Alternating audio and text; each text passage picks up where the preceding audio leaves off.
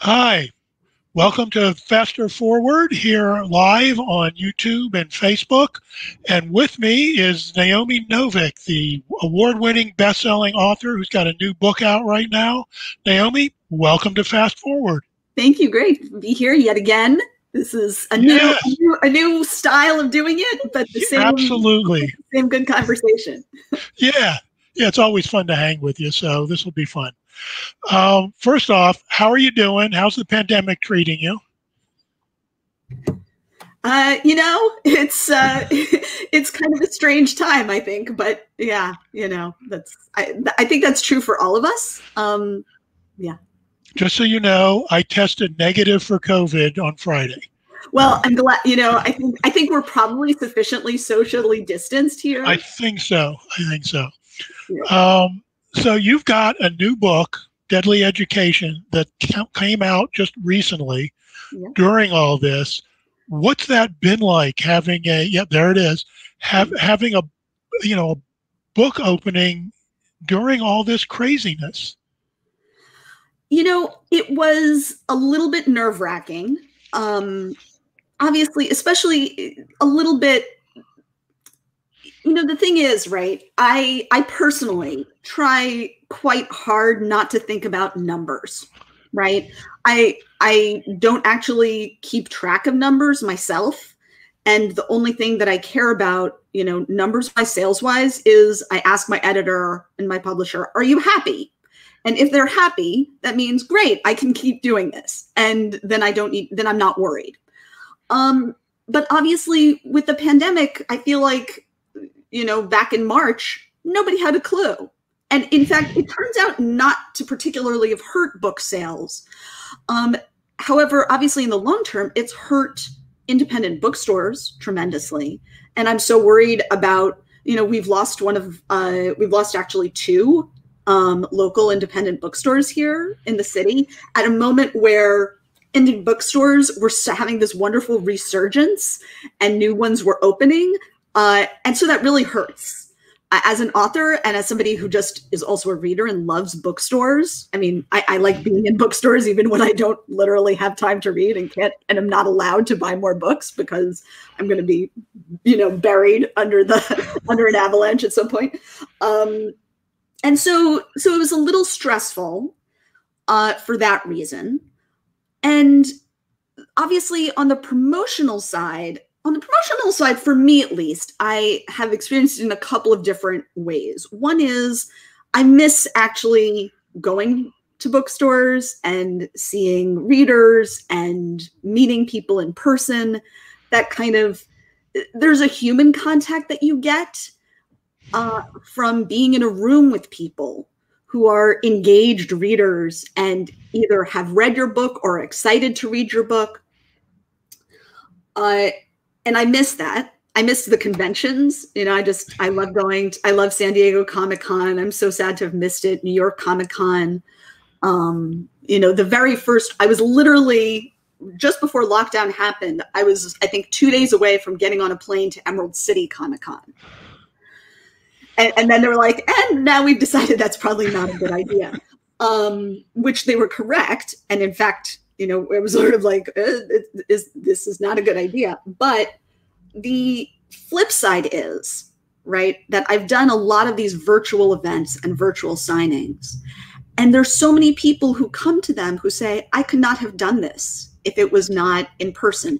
And I felt, in fact, I think I felt quite strongly for at least the last two, three years that a lot of promo um, should be moving online, that a lot of this stuff should be happening um, virtually, not least because, you know, flying around to like seven cities in 10 days, it just, it feels, it, it's, it's exhausting. Um, it also feels, you know, wasteful in a way. Uh, and at the same time, you know, you want to, to have to have that contact. But I feel like there should be a balance. And so for me, the silver lining of all this is that we've been forced to learn how to do this and how to do it well. um, how to do virtual signings, how to do virtual bookstore conversations. We all now know how to kind of participate in a virtual event in ways that I think people really didn't. And you wouldn't fit, you, you need to be pushed by necessity sometimes to figure these things out. Because otherwise it's just it's work that you don't have to do and so you don't do it because there's so much other work that you do have to do right? Uh yeah. it, does save so anyway, some time. yeah. Uh, well since we're talking about doing publicity for the book let's talk a little bit about uh, the new book deadly education. It is once again a new kind of genre for you Mm-hmm. You've gone from alternate history Napoleonic War to uh, Polish folklore to fairy tale, mm-hmm. you know, taking off on fairy tales. And again, you're taking something that's been around and doing a little twist on it. This time it's the wizard school. Yeah. Because uh, the Scholomance, it, it ain't Hogwarts. No, although although yeah. honestly, you know, it's it's in many ways about me reacting to Hogwarts, right? I, you know, that I obviously, you know, this book actually is not for me at least, right? I will say that I do think there's a commonality among my work, which is that I like having conversations. Uh, I like, and I mean, artistic conversations in a sense. I like to talk to a work, to something that I love and something that I'm passionate and interested in. And, you know, the same way that a good conversation sort of flows and rambles and ends up very far from where you started. I think that's often what's happening with my work. And it's just, you know, what I'm talking about, the topics of the conversation are different. Um, but the spirit of it, the spirit of, I think, questioning and um, playfulness and uh, and sort of interrogating questions um, deeply and engaging things. That's all. That is all to me quite fundamental to the way that I engage with text as a reader. And that's, you know, obviously I started as a fanfic writer. Um, and that's always been my primary motivation for writing is to sort of explore questions, explore something that I'm passionate about. Which is always good. Uh, we have a question from a viewer. Want to know how many books do you have planned for the Scholomance series? Uh, it's it's not just a plan. Um, it's three books. This is from Santa Z, by the way. Yes. Um, Another Z person. Good. Yes. Yes, we like disease. Um, the so the uh, the Scholomance trilogy. It's a trilogy, and it was originally meant to be a duology. Um, and then I wrote the first book and discovered that it ended where I did not expect it to end. Um, but I basically before book one came out i'd already drafted quite a far book two was was about 70% drafted and book three had been started so i knew where before before it came out right and now i'm finishing up book two and hoping to do as much as i can of book three before book two before we sort of close the door on book two um and that's because one of the things that i really you know, after I finished Temeraire and moved to writing Uprooted and Spinning Silver, which were both standalones, I really want to, to see the end. I really wanted to kind of know where I was going because that tells me what my story is about in many ways. And at the same time, I'm a discovery writer. I don't know where I'm going. Uh, and I always, I always let the characters and the story win when there's a question you know if i have a plan the plan is never i never stick to the plan i don't i don't value the plan for its own sake that makes that makes sense for the kind of writing you do yeah yeah so oh Scholomance by the way i was very surprised to find out that this is something else you've taken from folklore that yes, this is from yes. transylvania folklore and is actually in dracula which mm-hmm. surprised me because I've read Dracula two or three times so, and I don't remember yeah. it. Yeah, no, you wouldn't. Um, and in fact, so uh, in fact, the and the thing is, um, so it's kind of, you know, this is the thing, right? When you talk about your sources, when you talk about inspirations, um, I did not read the original book in which the Scholomance legend was, you know, described in English. Um, I read it in in this when I was ah. old, um, and I found. Um, I have to find the page. Here it is. He goes to find the page. Yes, as you can possibly see, right.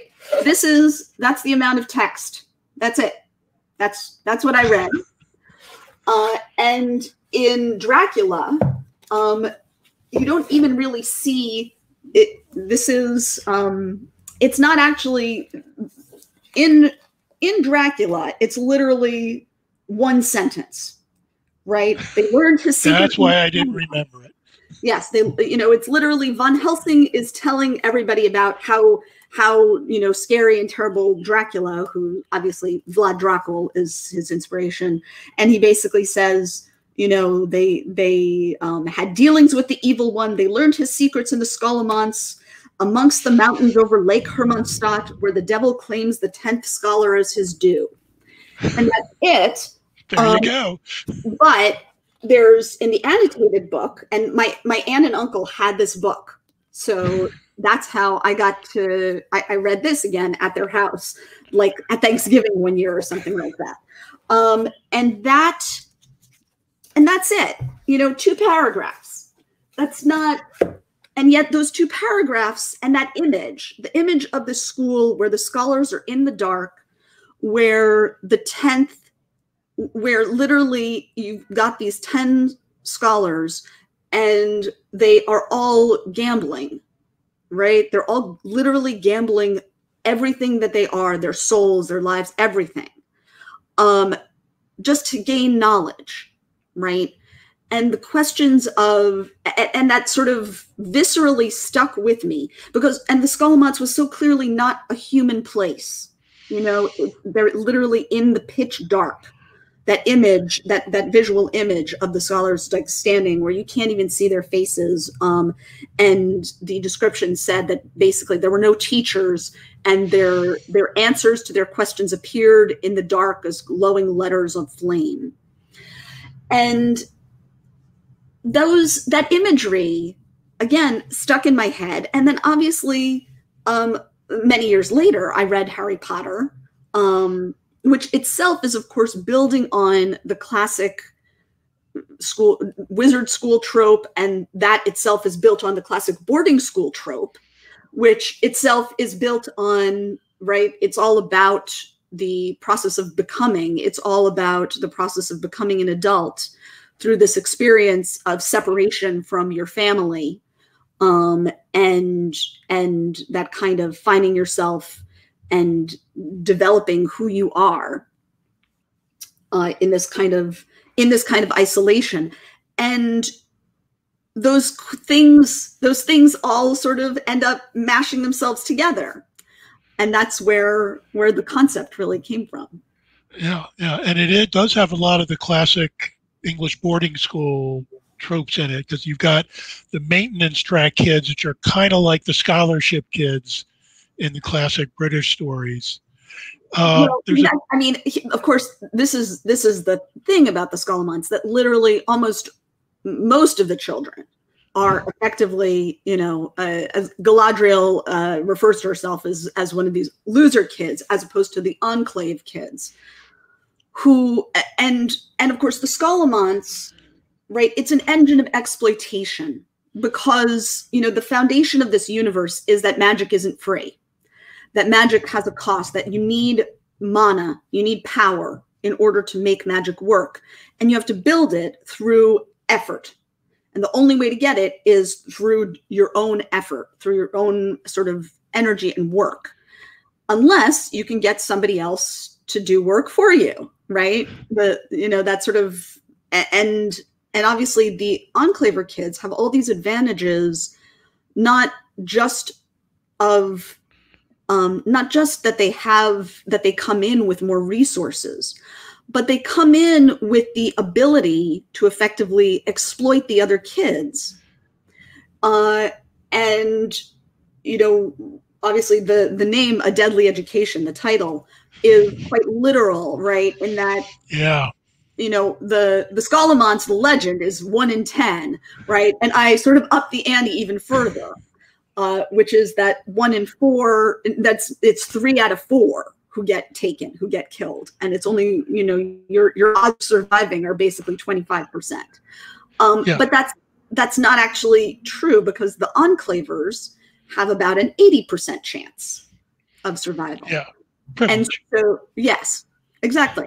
And and obviously that's that's a large piece of what it's about. Um, you know that that and the way in which all of them are children enmeshed in the system that they did not build, but which many of them are, in, which they are in fact supporting, which they are quite literally holding up um, by continuing to sort of believe in it and participate in it. Oh, how about this? Why don't you uh, read us some from, uh, I guess, Deadly Education? Yes. And, uh, yeah, I will. I will read. I'll read from the beginning um, because I feel like that's that's always the way I I start. Yeah, um, and then maybe we can talk a little bit about El. yeah. All right. So, chapter one, Soul Eater. I decided that Orion needed to die after the second time he saved my life. I hadn't really cared much about him before then, one way or another, but I had limits. It would have been all right if he'd saved my life some really extraordinary number of times 10 or 13 or so. 13 is a number with distinction. Orion Lake, my personal bodyguard, I could have lived with that. But we'd been in the Scholomance almost three years by then, and he hadn't shown any previous inclination to single me out for special treatment. Selfish of me, you'll say, to be contemplating with murderous intent the hero responsible for the continued survival of a quarter of our class. Well, too bad for the losers who couldn't stay afloat without his help. We're not meant to all survive anyway. The school has to be fed somehow. Ah, but what about me, you ask, since I'd needed him to save me? Twice, even. And that's exactly why he had to go. He set off the explosion in the alchemy lab last year, fighting that chimera. I had to dig myself out of the rubble while he ran around in circles, whacking at its fire breathing tail. And that soul eater hadn't been in my room for five seconds before he came through the door. He must have been right on its heels, probably chasing it down the hall. The thing had only swerved in here, looking to escape. But who's going to let me explain any of that? The chimera might not have stuck to me. There were more than 30 kids in the lab that day.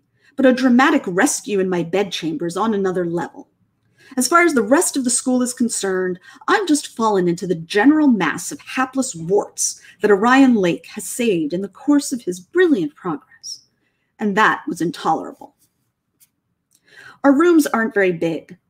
He was only a few steps from my desk chair, still hunched, panting over the bubbling purplish smear of the soul eater that was now steadily oozing into the narrow cracks between the floor tiles, the better to spread all over my room. The fading incandescence on his hands was illuminating his face. Not an extraordinary face or anything. He had a big beaky nose that would maybe be dramatic one day when the rest of his face caught up, but for now was just too large, and his forehead was dripping sweat and plastered with his silver gray hair that he hadn't cut for three weeks too long. He spends most of his time behind an impenetrable shell of devoted admirers, so it was the closest I'd ever been to him. He straightened and wiped an arm across the sweat. You okay, gal, right? He said to me, just to put some salt on the wound. We've been in the same lab section for three years. No thanks to you and your boundless fascination for every dark thing creeping through the place, I said icily. And it is not gal. It has never been gal. It's Galadriel. And the name wasn't my idea, so don't look at me.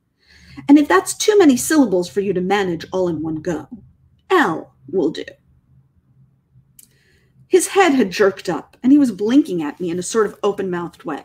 Oh, uh, I'm sorry, he said, voice rising on the words as if he didn't understand what was going on. No, no, I said.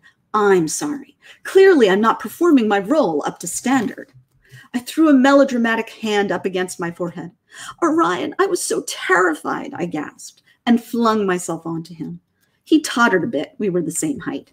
Thank goodness you were here to save me. I could never have managed a soul eater all on my own. And I hiccuped a pathetically fake sob against his chest. Would you believe he actually tried to put his arm round me and give my shoulder a pat? That's how automatic it was for him. I jammed my elbow into his stomach to shove him off. He made a noise like a woofing dog and stared back to gawk at me. I don't need your help, you insufferable lurker, I said. Keep away from me or you'll be sorry.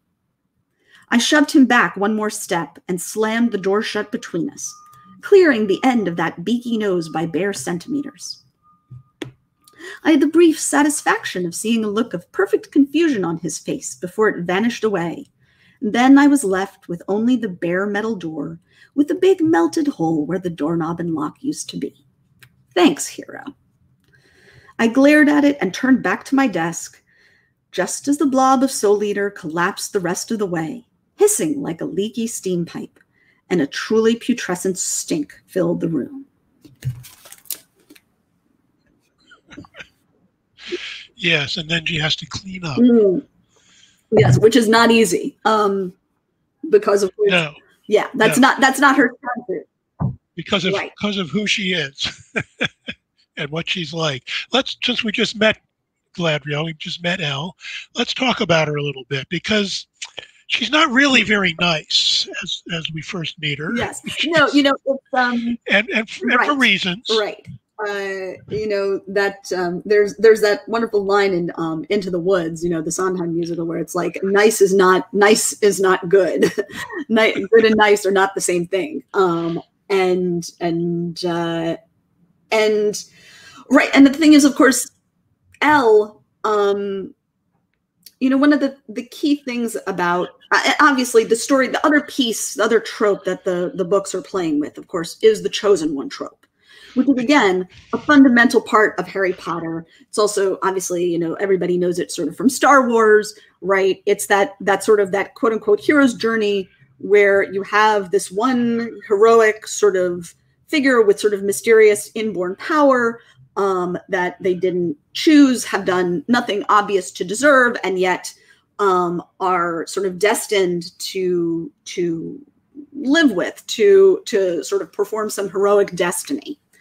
Uh, and, and, usually, it's to, to save everyone, to be the right. great savior. And right. Galadriel Right. Well, so obviously, you know, here we've got two different chosen ones. You've got Orion, who seems like the classic chosen one, the hero, and El, who is sort of seems to be chosen in a way to be his antagonist, to be his his opposite, um, and who's been given, uh, who's sort of laboring under this this prophecy of of destruction, uh, of mass destruction, and whose natural sort of talent, whose natural sort of affinity for magic, is um, is essentially this idea of uh, of being effectively a dark sorceress that she's imbued with with the sort of natural talent for sort of mass not not sort of you know combat but literally like slaughtering vast swaths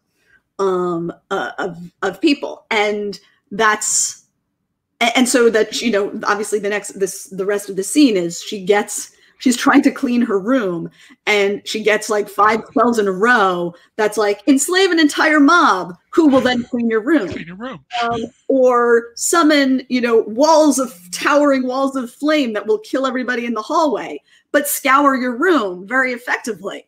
Um, and she's just like i just want to mop the floor. Right? Uh, which you know she's she and and so obviously she is somebody who is trying to remain human right? To remain on to, not just she's trying to stay on the human scale right? Um, even though uh, effectively everything around her is conspiring to try and push her out of that scale. And her upbringing was difficult um, because she has this kind of affinity for mass destruction. and her mother is this very nice, sweet, blonde Welsh hippie. And I was interested in why you had the little thing of yurts and the hippie little commune out in Wales. Yeah. Um, instead of the American Southwest or something. Uh, that was interesting. And her father is from India. And when she goes to her father's family, her grandmother or great grandmother is horrified by her. Well, and obviously, so, you know, some of this stuff, obviously, this this obviously gets explored a lot more uh, in the later books yeah. and um and one of the key things of course about galadriel right is that she is not you know El is not a reliable narrator in the sense yes. that right she is i love that by the way uh in that she she talks a much better game about um being sort of heartless and you know self-interested and um, and and not minding isolation, etc., then and being strategic and cool than she actually accomplishes.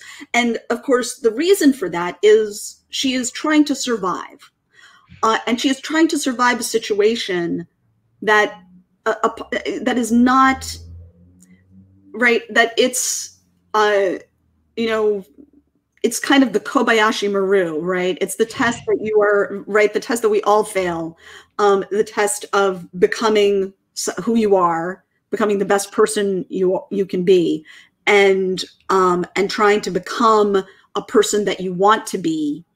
You know, sort of envisioning the person that you want to be and growing into that shape, and um, the ways in which right it feels often like the world doesn't let you do that. And that i feel is is just a classic experience right? Something that we all on some level identify with. And obviously in the Scholomance, it's it's amplified because the stakes are amplified um, to a to a tremendous degree. And so galadriel's El is really in this place where she is so isolated even within the terrible isolation. She is um you know because of her power people can sense her power and um and they are afraid of her in many ways.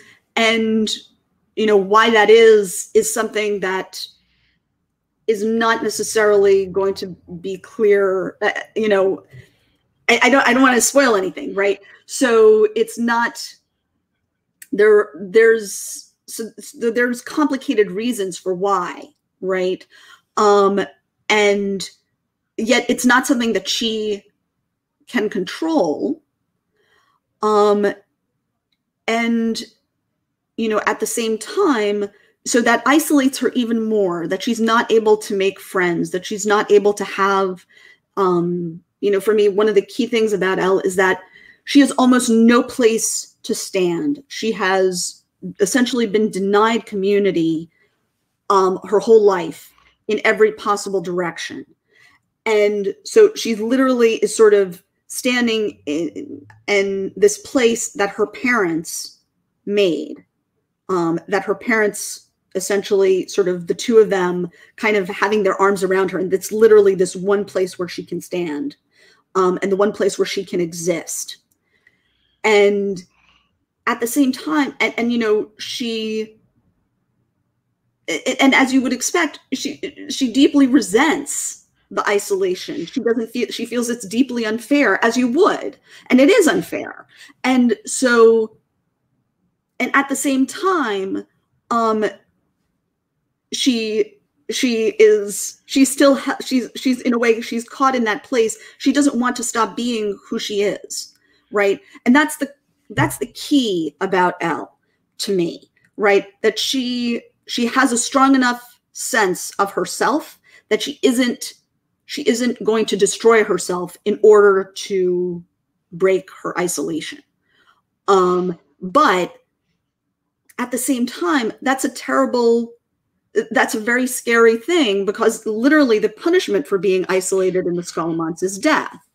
Um, and not and not a pleasant death. No, um, and, that you came up with some pretty dark monsters and ways of dying. This is a much darker book in a lot of ways than your other work.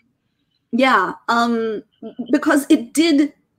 To me, that's the fundamental thing about the Scholomance. You know, when you read the folklore, it sort of makes it sound like this cool, you know, dark, edgy, mysterious, dark school, right?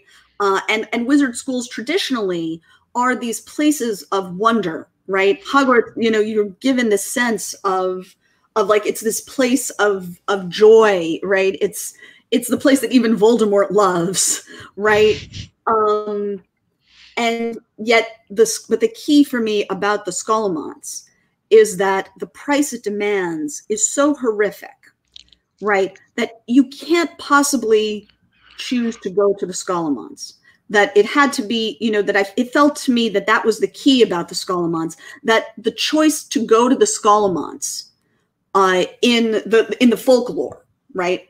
The choice to go to a place, a school, where you have a one in ten chance of literally being unmade, of literally being taken by the devil, destroyed in this fundamental way, that only only something truly that people who would do that voluntarily there would have to be something truly terribly wrong with them that in fact i didn't believe in it. I did not believe in the in the legend. I didn't believe that any real human being would voluntarily go and do that to themselves. So then the question for me in my work became what would make you do it? What would drive you to it? It can't be voluntary. It has to basically be that it's worse on the outside that um, and that's why parents send their children. That's why children go because they don't have a better choice.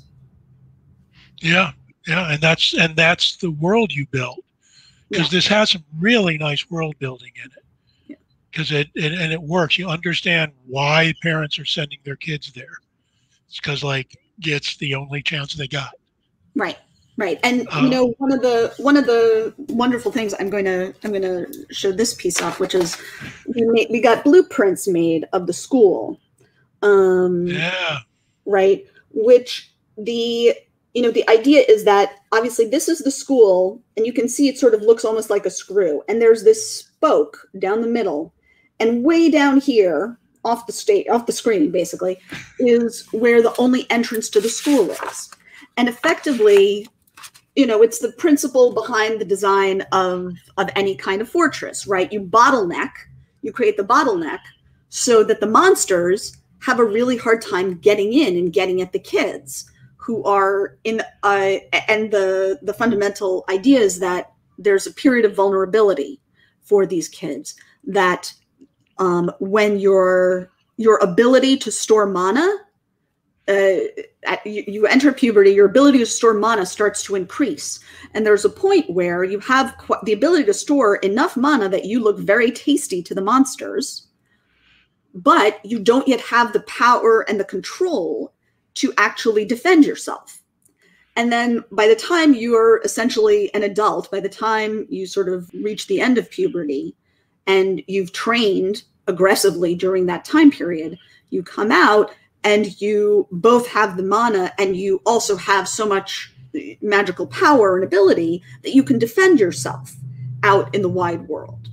Uh, but that there's this period of time in which the children children are so vulnerable that even in enclaves, even in the best protective places that wizards can have, um, there's just too much access. The monsters can get them, and that's that's the the reason why parents send their kids to the Scholomance.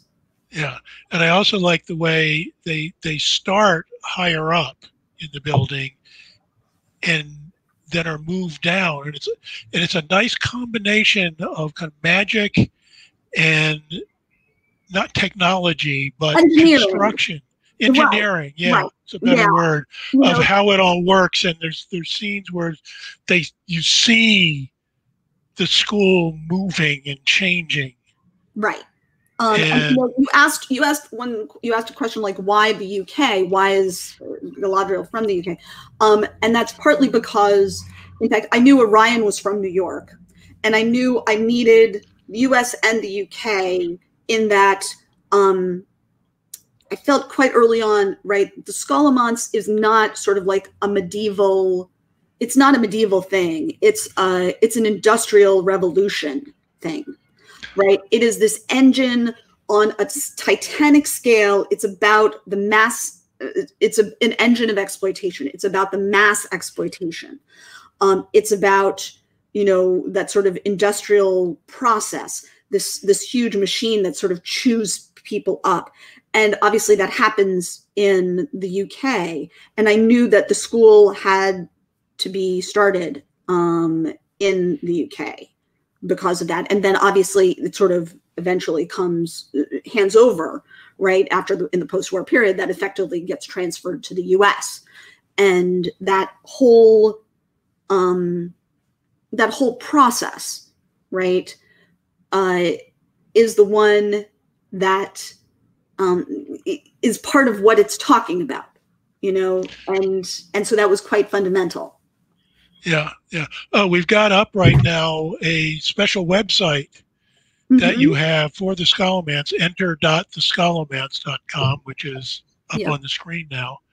Um, and that is a that's not your regular website. That is a special right. website for this series, right? Yes, um, and it's a more or less in universe website. Like it's basically um, we're still working on it, but it's basically the school website for the Scholomance, right? The Scholomance, you know, because it's it's it is not exactly in our world, but it's our world, um, and uh, and so they the internet exists.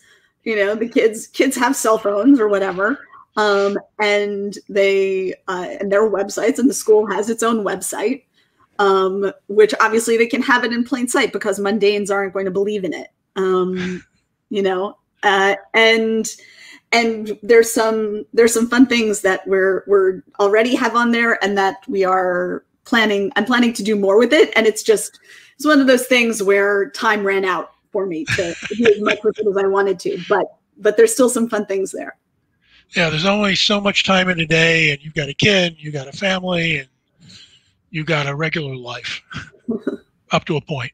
Yeah, no, and and and other books that are due. so. Yeah, yeah. Um, you talked about mana, but there's also the darker side. The, was it Malia? Malia, and yeah. the Maleficers. Yeah. Um, I you know, I actually, I, I'm not, I don't pronounce things correctly typically because I grew up, um, I grew up speaking Polish, which stresses a different syllable than English. So for a long time, and you know, as the child of immigrants, right, I, um, I, I read a lot of words that I never heard at home and I made up pronunciations for them and all my made up pronunciations were wrong. So that said, um, the you know the Maleficaria and the malef- Maleficers, um, it's all right. It all comes from the same root, which is malice, maliciousness, and this essentially in this universe, right, is defined as um, you know Malia's power that's not yours, power that you didn't build for yourself, um, and you know you can be given power freely by someone else uh, or you can try and take it from people. And there are some wizards right who deliberately essentially become malicious which are the same way that the the monsters the maleficaria do. And they stop making their own mana and just start taking mana from other people and other wizards. And that you know the the act of taking it with violence right is is sort of the obvious way uh, and causes certain kinds of psychic damage and corruption to the person doing it. Um except obviously you know and this is something that's that's sort of a key piece of the books which is that's that's not what the you know enclavers for instance are doing when they get mana from other kids. They are being given that mana more or less freely. Um, the other kids are giving it to them choosing to give it to them. But uh, it's you know that's not just it's not that they're not those kids aren't doing it in a in a sort of truly willing way. It's not a truly willing gift. It's just it's a gift that's not causing you psychic damage um, on the surface but you're you know it's it's exploitation which is you know you're you're sort of you can trick people you can lie to people you can threaten people you can you know do all sorts of things to make them give you power that isn't literally like stabbing them. Um but uh but so there's the obvious kinds of malia and then there's the less obvious kinds yeah yeah let's talk a little bit about some of the other characters um I found Orion to be really interesting because the way you learn more about him and the way he kind of changes in, in our minds as the book goes on was like really nicely done. He's, you know, he starts kind of insufferable and then you realize it ain't that easy for him. Right. Right. And obviously, you know, it's sort of the the flip side of of El's experience, right? Where she yeah. is um utterly isolated on her side and he is utterly she is utterly isolated by avoidance and he's utterly isolated by sort of you know uh, uh, literally the crowd right you know El speaks of him an irritation is surrounded by this impenetrable shell of devoted admirers. She's not wrong, right? Yeah. It's, it's an impenetrable shell, and he literally is like sort of swarmed. Um, and of course, he is in. And one of the, you know, that's one of the things about El that she, um, she doesn't see Orion clearly at the beginning. Uh, he's not a real you know she doesn't she doesn't know she doesn't see him as a person and then she gradually does. And that's how we get to see what's going on with him. Um yeah. but yeah but but he is and you know obviously that's the thing is the chosen one role. And was, this is something that you see a lot right? Which is what does it mean to be the chosen one um, what does it mean to be chosen to be a hero you, who chose, right? That that implies that there's a choosing. There is somebody doing the choosing. Who's choosing and why? And what they what are they actually choosing? And what if that's not your choice? What does it imply for your choices as the chosen one? Uh, if if you don't get to to choose to be the chosen one, um, and that and that sort of grappling with destiny um, is a question it, and it's a question as much for him as it is for El. Yeah. And I, I love the fact that, you know, she treats him like crap. And he's one of the few people she's one of the few people he actually likes because because she treats him like crap because she's not hero worshiping him. She right. treats him like she treats everybody else like crap. Right. um, well, you know, the thing is, right the the key is that she refuses his help yes. right? she says no i don't want your help. Um which is she refuses to to be beholden. She refuses to sort of need him.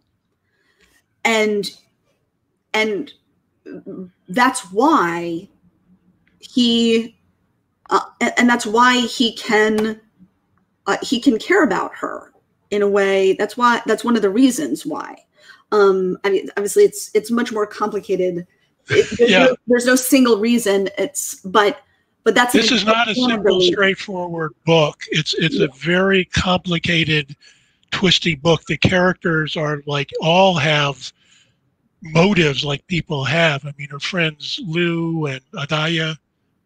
Um, they're well, they become friends, but at right. the beginning they're more like people that don't hate her.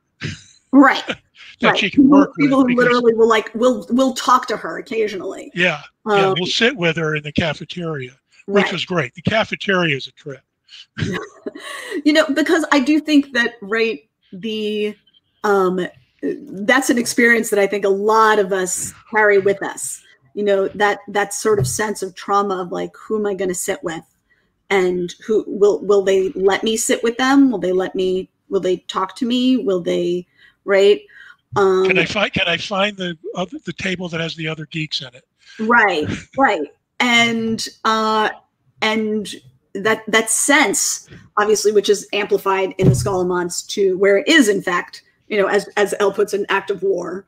Um and and it's in that it's it's all about strategy because the people you get to talk to are the people who might ask you to be in your in their graduation alliance.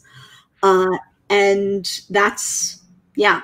So that's obviously the the thing that's running through all their heads all the time um, yeah. as, you sort of it would be. Yeah yeah. Well naomi we are out of time I could sit and talk to you about all this stuff and your other books and everything for hours and hours, but we we can't do that. Um, Alas. I want to, yeah, I want to thank you so much for taking time out of your schedule to visit us here. Um, and I have to remind people to go down to somewhere around on the screen and subscribe to us on YouTube, like this video because that's important to us. If you click the bell, then you'll get told when we've got more faster forward things going on. And we've been showing you links to Naomi's various social media and sites. We'll put we'll put all that and more of them, like her Instagram, uh, down in the comments below. Uh, thanks for joining us, Naomi. Thank you so much. Thank Appreciate you. Your taking lovely, time. lovely as always. I'm always happy. Yeah. It's always fun to talk to you. Well, this is Mike Zipser from Fast Forward telling everybody out there to take care, stay safe, wash your damn hands.